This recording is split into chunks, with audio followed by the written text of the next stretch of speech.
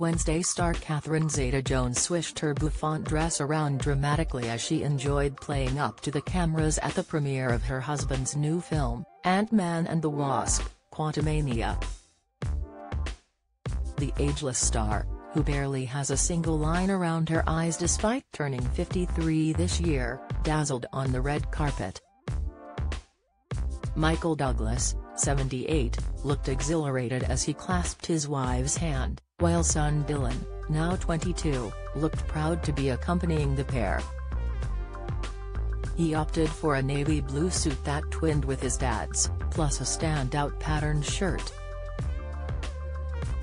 Yet it was Catherine's standout strapless dress that commanded the most attention from the cameras last night, as she made her fashion presence known.